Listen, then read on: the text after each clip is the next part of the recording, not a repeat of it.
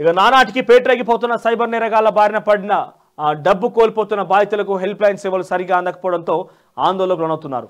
Cyber మోసాలకు గురైన వారి కోసం జాతీయ స్థాయిలో నైన్టీన్ థర్టీ పంతొమ్మిది వందల ముప్పై హెల్ప్ లైన్ ఒకటి తొమ్మిది మూడు సున్నా హెల్ప్ లైన్ నెంబర్ను ఏర్పాటు చేయగా చాలా సందర్భాల్లో ఇది పనిచేయడం లేదని బాధితులు చెబుతున్నారు.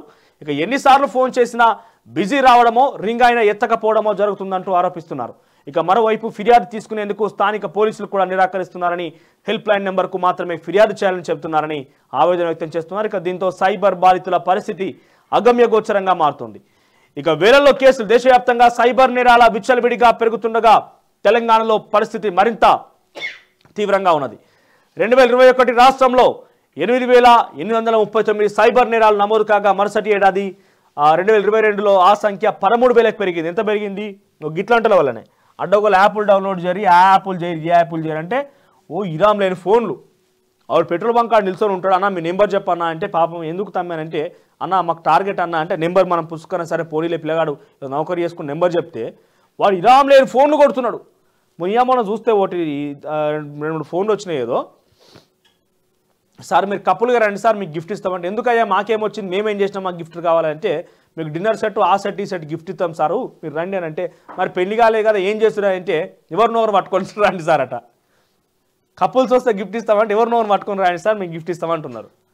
ఈ అడవుల యాప్లు ఈడబడతాడు ప్రమోషన్ చేయంగా ఇబ్బంది తలెత్తుంది. సో దయచేసి పోలీసులు గీటి మీద కూడా నిఘా వేయాలి. ఎవరు పడతాడు ఆడు డిన్నర్ సెట్ ఇస్తాం ప్రమోషన్ చేస్తామంటే పెళ్ళి కాలేదు కానీ ఎవరినొకరు పట్టుకొని రమ్మని సార్ అని గమ్మతున్నది ముచ్చట. ఇక హైదరాబాద్ సైబరాబాద్ కమ్యూనిస్టేట్ల పరిధిలో తొమ్మిది వేల ఆరు వందల డెబ్బై నాలుగు కేసులు నమోదయ్యాయి. రాష్ట్ర వ్యాప్తంగా కేసుల సంఖ్య ఇరవై వేల వరకు ఉండొచ్చని అంచనా వేస్తున్నారు. ఇక హైదరాబాద్ సైబరాబాద్ కమిషనరేట్ల పరిధిలో సైబర్ నేరాల వల్ల బాధితులకు జరగ నష్టం జరిగింది ఎంత అంటే మూడు వందల యాభై తొమ్మిది కోట్లట.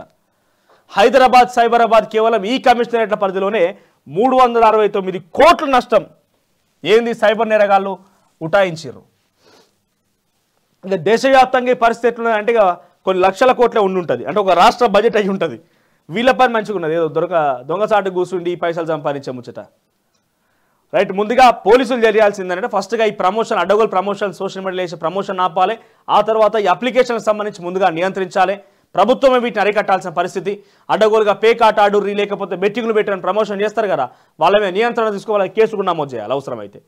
సో డెఫినెట్గా దీనికి ఏదో హెల్ప్ లైన్ పనిచేస్తున్న ఒక వార్త హైలైట్గా ఉంది దీన్ని కూడా ముఖ్యంగా రాష్ట్ర ప్రభుత్వం ప్రత్యేకంగా ప్రతి కమిషనరేట్ పరిధిలో ఒక హెల్ప్ లైన్ ఏర్పాటు చేయాలి ప్రత్యేకంగా. వాటి గురించి ఒక సెషన్ పెట్టి ఒక ఇప్పుడు ఏ రకంగా అయితే టీఎస్ న్యాబ్ గురించి డ్రగ్స్ అరికట్టడం కోసం ప్రత్యేక చొరవ తీసుకొని రాష్ట్ర ప్రభుత్వం ప్లాన్ చేస్తుందో ఆ రకంగానే ఈ సైబర్ నేరగాలను అరగట్టడం అరికట్టడం కోసం కూడా ఓ ప్రత్యేకమైన చొరవ తీసుకొని ఒక పోలీస్ స్టేషన్ లాంటిది ప్రారంభించిన ప్రత్యేకమైనటువంటి ఒక డెస్క్ను ఏర్పాటు చేసినా బాగుంటుంది. జిల్లాల వారికైనా లేకుంటే ఉమ్మడి జిల్లాకు సంబంధించి ఒకటైనా కూడా అలాంటివి ఉండాలి. ఎందుకంటే ఎక్కడికక్కడ అవగాహన కల్పించాల్సిన అవసరం కూడా ఉన్నది ఎంతమంది ఎన్ని రకాలుగా అరిచినా కూడా ప్రజలు కొంత వీళ్ళ బారిన పడుతున్న పరిస్థితి కాబట్టి వాటి గురించి తక్షణ చర్య భా- చర్యలు భాగంగా ప్రత్యేకమైనటువంటి పోలీస్ అధికారిని ఏర్పాటు చేసి ఒక నిఘా అయ్యేతో పాటుగా మోటివేషన్ రకం కూడా ప్రజలకు ఉండాలి.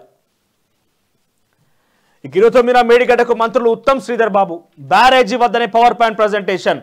ఎవరైతే బ్యారేజ్ కట్టడం కోసం ప్రతి ఒక్కరు ఏం అక్కడ ఉన్నటువంటి కూలీలు మినహా?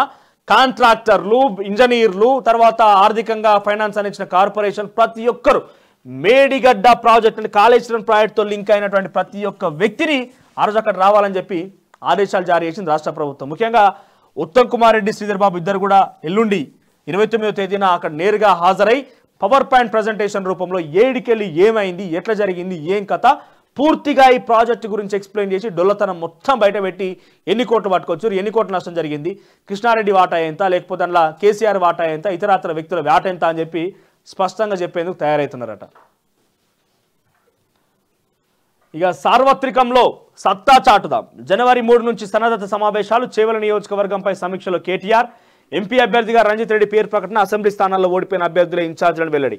ఇక లోక్సభ ఎన్నికల్లో సత్తా చాటుదామని పార్టీ శ్రేణులకు బారాసా కార్యనిర్వాహక అధ్యక్షుడు కేటీఆర్ పిలుపునిచ్చారు. ఎన్నికలు ఎప్పుడైనా రావచ్చని వాటికి ఇప్పటి నుంచే సమాయత్తం కావాలని పదహారు స్థానాల్లోనూ పార్టీ విజయమే లక్ష్యంగా ముందుకు సాగాలని సూచించారు. జనవరి మూడు నుంచి ఇరవై ఆరు తేదీ వరకు శాసనసభ నియోజకవర్గాల వారీగా సమావేశాలు ఏర్పాటు చేసుకుని కార్యాచరణ ప్రారంభించాలన్నారు. ఇటీవల శాసనసభ ఎన్నికల్లో ఓటమితో కుంగిపోవద్దని నూతన ఉత్సాహంతో ముందుకు సాగాలని ఉద్బోధించారు. అది కమ్యూనిటీలో పూర్ణడేందా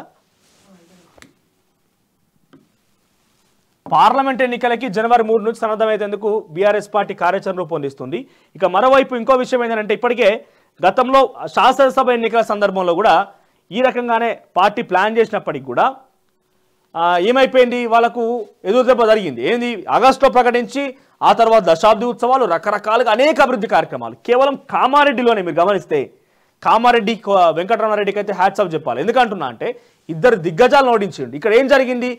కామారెడ్డిలో ఎప్పుడైతే కేసీఆర్ పోటీ చేస్తున్నారని చెప్పి ఆగస్టులో ప్రకటించారో సుమారుగా. ఆగస్టు నుంచి ఎన్నికలకు సంబంధించి కోడ్ వచ్చేంత వరకు డిసెంబర్ సుమారుగా కోడ్ వచ్చేంత వరకు నవంబర్లో కోడ్ వచ్చేంత వరకు ఎంత కోట్లు అంటే రెండు వందల కోట్ల రూపాయలు ఖర్చు చేసిన అభివృద్ధి కార్యక్రమాల కోసం. కానీ ప్రజలు ఏం చేసిర్రు? మీ పైసలు మీ అన్ని చ- జాంతానాయి ఇవన్నీ నడవై మా దగ్గర అని చెప్పి అక్కడికి వస్తే బీజేపీ నాయకులు గెలిపించారు అక్కడ కాటిపల్లి వెంకటరమణారెడ్డిని. అనేది గొప్ప విజయం. నేను చెప్తున్నా ఒక వంద సంవత్సరాలను గుర్తుపెట్టుకుంటారు. కేవీఆర్ అనే పదాన్ని వంద సంవత్సరాలు తెలంగాణ గుర్తుపెట్టుకుంటుంది. ఇద్దరు దిగ్గజాలు ఓడగొట్టిండు ఆయన. అంటే ఇక్కడ నేను ఏమంటున్నా రెండు వందల కోట్లు ఖర్చు పెట్టినప్పుడు అధిక ప్రభుత్వం మీది అధికారం మీది పైసలు మీయి అప్పులు మీయి మొత్తం మీరే చేసినటువంటి బీఆర్ఎస్ పార్టీ అప్పుడే ప్రజలు తీర్పిచ్చిరు ఏమిచ్చిరు అక్కడ? కామారెడ్డి ఒక ఉదాహరణ తీసుకుంటే ఓడగొట్టేసారు ఇప్పుడు మరి తెలంగాణ రాష్ట్రం అధికారంలో కాంగ్రెస్ పార్టీ. కేంద్ర అధికారంలో బీజేపీ పార్టీ. ఇక్కడ మీకు అస్తిత్వం లేకుండా అయిపోయింది. అంటే ముప్పై తొమ్మిది సీట్లు మీరు గెలిచినప్పటికీ కూడా దాంట్లో ప్రజలు మరి తిరస్కరించడానికి చాలా స్పష్టంగా ఏకంగా కేసీఆర్ ఓడగొట్టినట్టు అర్థం చేసుకోరు తెలంగాణ ప్రజలు ఎంత అవగాహనతో ఎంత చైతన్యవంతులేరు అనేది. కేసీఆర్నే ఓడగొట్టేసారు ముఖ్యమంత్రిని ఓడగొట్టేసారు రేవంత్ రెడ్డి ఓడిపోయాడు అనుకోండి అది తర్వాత సంగతి. కానీ ముఖ్యమంత్రి హోదాలో కేసీఆర్ఏ ఓడిపోయినాను అయితే అర్థం చేసుకోవాలి మీరు ఏమైంది అక్కడ అనేది. సో బీఆర్ఎస్ పార్టీకి ఎటువంటి తీర్పు ఇస్తారు? సార్ జనం మాత్రం చూడాలి. ఎన్ని టాక్టిక్స్ ఎన్ని టాక్టిక్స్ చేసినా ఎన్ని గేమ్స్ ప్లే చేసినా మరి ప్రజలు అవగాహనతో ఉన్నారు అవగాహనతో ఎటువంటి ఓటు తీర్పు ఇవ్వబోతున్నారు చూడాలి. ఇక కమ్యూనిటీలో పోల్ ఉన్నది పార్లమెంట్ ఎన్నికల్లో మీ మద్దతు ఏ పార్టీకి? ఎందుకంటే మనం చూస్తే పోయినసారి ఎన్నికల్లో బీఆర్ఎస్ పార్టీ గెలుపొందిన స్థానాలు సుమారుగా ఎనభైకి పైగా స్థానాలు రెండు వేల పద్దెనిమిదిలో. బీజేపీకి వస్తే ఒకే ఒక్క స్థానం. అదే కాంగ్రెస్ పార్టీ విషయానికి వస్తే సుమారుగా ఇరవై ఒక్కటి సీట్ల పంతొమ్మిది సీట్ల వాళ్ళు గెలుచుకున్నారు. సుమారుగా పంతొమ్మిది అనుకుంటా. సో ఆ స్థానంలో వాళ్ళు గెలుచుకున్నారు. ఎటు చూసినా కూడా పొంతడం లేదు ఇక్కడ. కానీ ఎంపీ స్థానాలకు వచ్చేసరికి మూడు గెలుచుకున్నారు. వీళ్ళు సుమారుగా నాలుగు గెలుచుకున్నారు. వీళ్ళు సారు కారు పదహారు అని చెప్పి బొక్క బొర్రబడి తొమ్మిది స్థానాలకు అయిపోయారు అంటే ఇక్కడ నా ఎనభై స్థానాల నుంచి తొమ్మిది స్థానాలు అంటే సా సుమారుగా క్లీన్ స్వీప్ దిశగా నుంచి తొమ్మిది స్థానాలకే వీళ్ళు ఒకటే ఒక్క ఎమ్మెల్యే సీట్ గెలుచుకొని నాలుగు ఎంపీలు గెలుచుకున్నారు. అంటే పార్లమెంట్ ఎన్నికలకు అసెంబ్లీ ఎన్నికల ప్రజల యొక్క తీరు మారుతుంది వాళ్ళ యొక్క ఆలోచన విధానం మారుతున్నది. అటు కేంద్రంలో ఎవరుంటే బాగుంటుంది ఒక ఆలోచన కూడా మారు ఉంది కాబట్టి వాళ్ళు ఆ రకంగా తీర్పునిచ్చారు.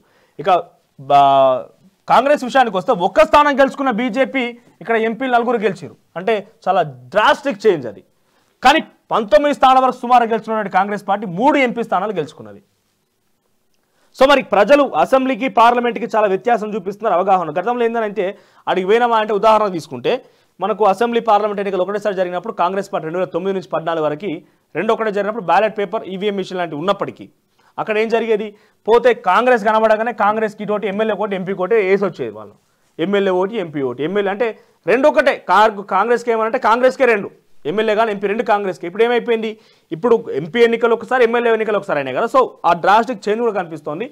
మరి ప్రజల తీరిపోయింది కమిటీలో పోల్ కూడా ఉన్నా చూడండి ఒకసారి.